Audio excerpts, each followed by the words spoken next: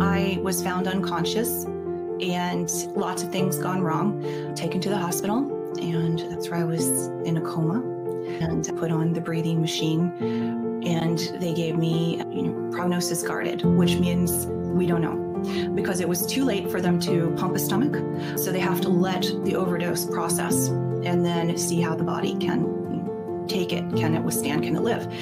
And so that's what happened. I woke up and in that time, they had me strapped to the bed, which is not something that they do for fun or, you know, simply a lot of times too, especially when you've made an attempt on your life, you're very disoriented, you're coming out of a coma, they don't know your state. And if you're still suicidal, they have no idea.